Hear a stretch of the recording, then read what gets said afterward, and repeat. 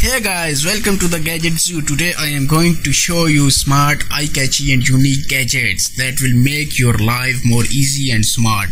So before starting the video, please don't forget to like the video, subscribe the channel and press the bell